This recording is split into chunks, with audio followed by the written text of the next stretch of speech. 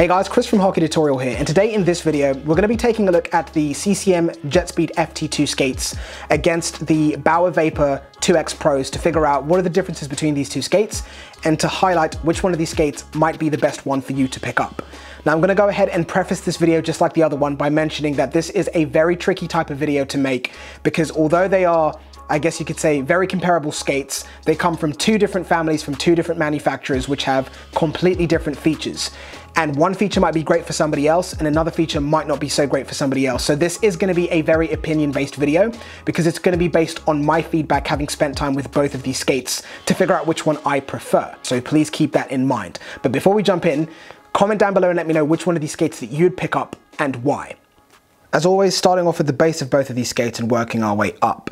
When we look at the runners or the blades that are featured on the 2X Pro from Bauer, these feature Bauer's Tuuk LS5 carbon, which has that carbon coating on the blade. Now, if we look at this compared to the actual um, blades that are featured on these pair of FT2 skates from CCM, which is the XS1 Black. If we're to compare these head to head, for sure, if we're looking at it from a point perspective, the same way we did with the last video, Bauer's definitely going to take the lead over here because this is a much higher quality runner than the ones that we see over here. You can see this both visually and also the general performance that you get out of these two runners. These are definitely going to be a better pick. But something that CCM introduced during this lockdown period that we've all been going through is going to change up the situation a little bit, which is the fact that now all of CCM's elite level skates come with step steel. Now, if you're unfamiliar with step steel, these are the best and highest performing runners that you can get on the market. CCM recently acquired this company. It was a completely separate company, but now is part of the CCM family. This changes the performance of these skates quite drastically because having essentially the best performing runners in hockey coming as standard with all of your elite level skates is going to give these guys a very big advantage because step in general doesn't have a comparison or any other company out there on the market that can compete with the quality and the performance of the runners that Step have. So now, if we look at it from the perspective of knowing that all of the elite level skates from CCM now come with these runners, which is the FT2, the AS3 Pro, and also the ATK, these are going to be much more superior than what we see on the Bauer 2X Pros. From there, moving up into the holder of both of these skates. When we look at CCM's holder over here, it's the XS, which has that dial that allows you to switch out your steel without any tools. Now, although Bauer's, depending if you're pretty used to using them and you have the tool that comes with the skates inside the box, these Lightspeed Edge holders are quicker to be able to switch your steel out Again, if you know what you're doing with them and you're quick enough to do it, but they do sometimes require a tool or a little bit more leverage to be able to get the blade to come out of the holder. Whereas CCMs do not require anything. You can do it just with your fingers, you don't have to have any additional tools or additional leverage to get the runners out. But saying that the LS Edge holders are quicker to get the blades out in some instances, these holders are not as secure or don't as securely fasten the runners or blades as the XS holders. So based on my experience and spending time having used both of these holders, the XS holder, in my opinion, is going to be the better pick. So when we're looking at it from a runner perspective and a holder perspective, one point for the runner and one point for the holder from CCM when we're looking at the runners being step steel and the holders being the XS to kick the video off. Now from there, moving on to the outsole of both of these skates over here, looking at the 2X Pro from Bauer. Now this is still using a traditional two-piece construction, meaning it still has a fully composite carbon outsole. The stiffer the carbon composite outsole, the better the energy transfer with the skate, but this is still a two-piece construction, which when you look at companies like True or companies like CCM have switched it all up to a one-piece skate construction. So this is very traditional, but I guess Bauer still feels that this is adequate for the, what they're trying to achieve, which makes it very tricky because I'm not saying that this isn't a great skate, but a two-piece construction, when you VS it against a one-piece skate construction, is always going to fall short because this is just more advanced technology. It performs better, it's lighter, so that makes it very difficult to not award a point in this area when we look at the outsoles. But of course, because CCM's skate with the FT2 over here is a complete one-piece construction, this one-piece construction eliminates the need for the actual material of the outsole, the glue clips and pins that hold the outsole in place. What that results in is not only a much, much stiffer skate construction because it's one piece, it also means that it's going to be lighter because you've gotten rid of all of those materials that are no longer required because the skate is one piece. So that's going to provide a lighter boot, a stiffer skate, a more responsive skate, and generally the player or whoever's going to be using these skates is going to have a much more direct feel for the ice because there's less material between them and the ice, which is always going to outperform a two-piece skate construction. Now, as we move up into the quarter package of both of these skates over here, starting off with the CCM FT2 from the Jetspeed range, this being a one-piece skate construction, you can see that CCM have completely eliminated any facing materials along the sides or non-performance components, which would be, for example, the CCM logo being stitched onto the skate or any other designs and synthetic leathers that might be present on the body of the boot. Even if we look around the eyelets of these boots, you can see that there are no excess materials that don't need to be there. Anything that is on the body of this boot is on there because it benefits the performance of the skate nothing else. Now, as we move over onto the 2X Pros from Bauer, now, although they have reduced a lot of the unnecessary pieces of material that they stitch onto skates, you can see, for example, with the logo, uh, this design over here has been clearly stitched onto the side of the skate. I'm not saying that this is a massive negative, but what that means is it's added weight, added material that really doesn't need to be there. When you look at the logo over here, you can see that this is effectively sublimated into the actual body of the skate, whereas this one over here is a separate piece of material that's been attached onto the body of the skate. When we look at the eyelets on the 2X Pro skates from Bauer, this is Bauer's integrated injected facing, which as the name states is integrated into the construction of the skate and also attached onto or directly attached onto the toe cap of the skates. Now this is not only to improve the durability of this particular type of eyelet construction, but it's also there to better support your foot and also allow you to have better control over the skates. These are now skates that are targeting those very quick players, those agile players, and this type of eyelet construction is there to essentially aid that type of performance on the ice. Now when we look at that directly against the eyelet system featured on the FT2s, because this is all one piece, the entire boot is actually one piece, the eyelets aren't separately attached, they're not using a traditional method where it's synthetic leathers and they're attached and stitched onto the body of the skate. The actual boot and the eyelets themselves are all one piece. Again, one piece construction that's going to benefit the players in having a nice stiff construction. Because of the thermoformable properties of the skate, it's still going to be able to wrap and contour around the foot, aiding a player with their performance and striding on the ice. Now again, when we look at which one of these types of eyelets is better than the other, this being a traditional two-piece skate construction and this being a one-piece, it's again very difficult for us to be able to award a point. I do really like this injected lacing system.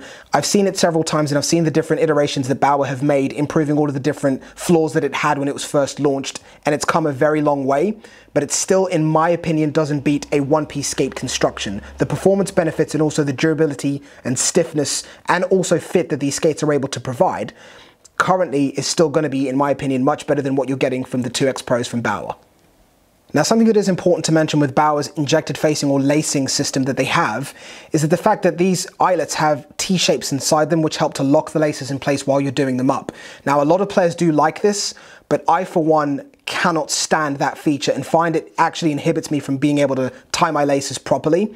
So just having circle eyelets is definitely going to be the one for me and is one of the other reasons why I definitely feel like this lacing system that is essentially incorporated into the one-piece boot construction is going to be a win. When we're also looking at areas where they are synthetic leathers or extra materials that are attached, if you look at the heel section of the 2X Pros, you can see this entire section over here is essentially a separate piece of material in terms of what the actual skate or the body of the skate is constructed from. But then when we look at the FT2s over here from CCM, you can see the heel section of the skate has absolutely nothing additionally attached to it. It's just the body of the skate. Now, when we look at the rest of the skate's construction, especially when we look at the 2X Pros from Bauer, these feature what they refer to as their Dynaflex system, which essentially is different components of the skates put together to create this new performance system that Bauer have developed, which is the asymmetrical toe cap design, the integrated injected facing, and also the Recoil Pro tongue, which we'll come into in a lot more detail. Now, although CCM doesn't have such a fancy name for the different technologies that they've encompassed on this particular skate here, we're still going to break them down as we continue to go through the video. Now looking at the toe caps of both of these skates, with the 2X Pros from the Bauer Vapor family, these feature an asymmetrical toe cap, which is definitely something that I'm a big fan of. I like the asymmetrical design because it essentially eliminates any unnecessary voids or space inside the toe cap of the skate, giving the player a much more snug fit. CCM's toe cap in this instance is a more traditional toe cap. It's not described as an asymmetrical toe cap, which means that this will have a little bit more negative space inside the toe box or the toe cap of the skate when we VS it against an asymmetrical toe cap from Bauer. So in regards to points when we're looking at the toe caps of both of these skates, the 2X Pros definitely get a point here because if I had the option, I would always prefer to have an asymmetrical toe cap over a traditional toe cap. Now from there moving on to the collar or the necks of both of these skates which feature different types of comfort pads that are essentially there to alleviate any pressure at one point. Now with CCM's comfort pad it's actually part of an injected one-piece system that is attached onto the tendon guard of these particular skates which we'll touch on in a minute. But both of these comfort pads are there to alleviate pressure at one point to essentially make you know, skating aggressively, turning tightly, comfortable in either one of these skates. Now, actually feeling the comfort pads themselves, this is something that's a big deal for me because I can't think of the amount of times that I've been cut in the high ankle area by being on, my, on the ice for too long and the comfort pads or necks of skates being much harder than you'd expect them to be. This instance over here, CCM's is actually a little bit stiffer than the one that's featured on the 2X Pros from Bauer. So if we're looking at it from a comfort perspective, I would actually opt for the ones that are featured on the Bauer skate rather than the ones featured on the CCM's. Now, although these these ones are technically going to last longer. I'm not saying they're hard and they're going to hurt your foot. The Bauer ones are much more spongy and much more comfortable in my opinion. Now, when we look at the tendons on both of these skates over here, CCM's is a one-piece injected tendon, so the tendon guard actually extends into the neck of the skate and also into the first top two eyelets of the boot. This is not only going to help to add additional durability and also just helping against general wear and tear, it's just going to be a much more stable and better performing tendon guard than what we've seen over here. Bauer's with the 2X Pros in this instance are just an injected tendon. I'm not saying again that there's anything wrong with this, but it's just better technology that we see featured on CCM skate in this instance.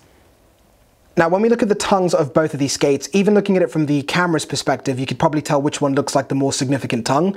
In this area over here, Bauer definitely takes the lead with their Recoil Pro tongue.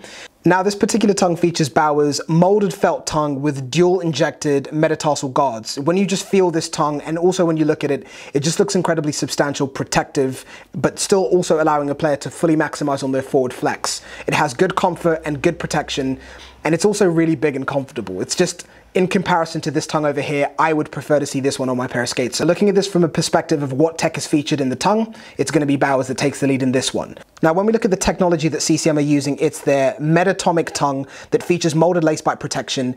Now, aside from this tongue being asymmetrically designed, which is going to be a big bonus and something that I do wish was featured on Bauer's tongue, this asymmetrical tongue essentially allows for a better flex point and better wrapping around the skate. So an asymmetrical tongue will not only allow the player to fully maximize on their their leg extensions and strides, wrap around their foot better. It'll also stop from slipping down the sides of the skate as we often see with different tongues. So this tongue being an asymmetrically designed tongue and also offering better wrapping and no slipping because of the way that it's shaped are going to be great bonuses. But in terms of the general size and comfort that you get from the tongue from the 2X Pro skates, we're still going to award the point to Bauer in this area over here. But this is still a great tongue. I just prefer this one. If this tongue was asymmetrically designed as well, it would be probably one of the best tongues that we've ever seen. But like I said, had this been the AS3 Pro and we were looking at the three different tongue options they had, there would have been a little bit more of an argument or a debate to be had in this area. Now next up looking at the liners of both of these skates over here, starting off with the 2X Pro from Bauer. Now these feature Bauer's Lockfit Pro liner with embossed detail. Now aside from this looking very nice, it does also have some functions. It helps to keep your foot essentially locked in place to minimize on any slippage that you have while you're taking strides and skating inside these skates. When we look at the actual foams that are inside these skates, it's Bauer's Aerofoam Pro with memory foam. Now these are going to be much more comfortable than some of the other skates that we've seen from Bauer in previous generations. And I have to say that the texture that they have inside there with the black lining and also the yellow dots underneath the black lining does look pretty sick. Now moving on to the liners that are featured inside CCM's FT2s from the JetSpeed range. These are CCM's Total Dry Pro Plus liners with dual abrasion protection. So what that is is if we look at the high wear areas of the skate, you can see that it features synthetic leathers or material over here that's much more harder wearing than the softer material at the base of the skate or at the sides of the skate inside the liners to essentially help the skate's liners last the life length of the skates. These are the areas that essentially get the most abuse inside skates. Now, in addition to this, CCM are also using their high performance moisture wicking material. So any moisture or heat that enters the skate is going to be helped to be wicked away through the perforation or hole that I showed you at the base of the skate. This is something that both of these liners will do. The idea behind that is to keep the skate not only comfortable, but free or as free as possible of any moisture and water because it doesn't take a genius to figure out that if your skates are waterlogged, every stride you take on the ice is going to be much, much more energy zapping or energy demanding. So by having good moisture wicking materials and fabrics inside the skate to keep your feet dry and light, it's going to aid your performance and of course benefit your comfort while you're on the ice. But in terms of which one I would say is the better performing liner or the better performing material inside a skate, I'm going to give them 1-1 each. It's a very difficult area to say one performs much better than another. So one point to Bauer, one point to CCM in this instance. I typically don't bake my skates. I prefer to just get them and use them and wear them in. I know there's a lot of people out there would argue that it's much better to bake them, but this is just my personal preference. I prefer to just use the skates as they are.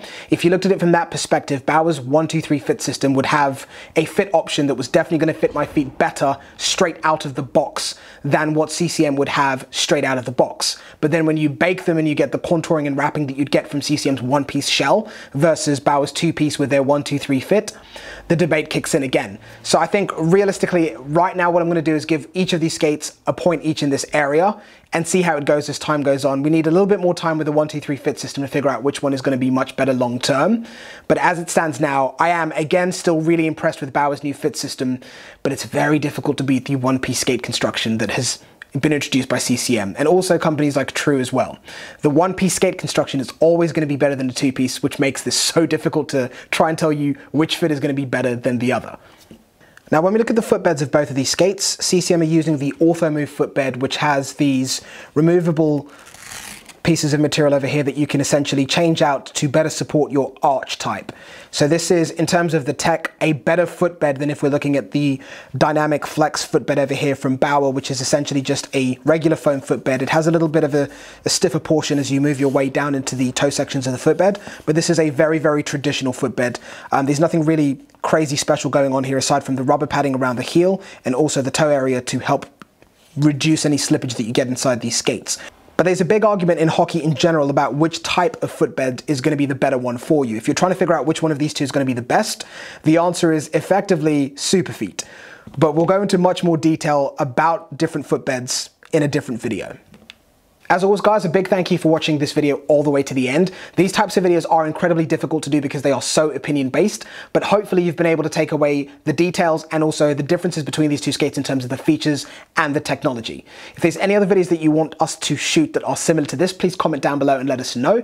And even if they're completely different, still comment down below and let us know what you'd like us to film next. Make sure that you check out the link in the video description so you can go pick up each of these skates if you want to pick them up, whether you're in Europe or whether you're in North America, we'll have links down below. Big thank you to Puckstop, by the way, for making this video possible. But as always, guys, thumbs up the video, subscribe so you can stay up to date with all of the videos that we post. Turn the notification bell on so you're notified when we post a new video. And we'll catch you in the next one. Take care.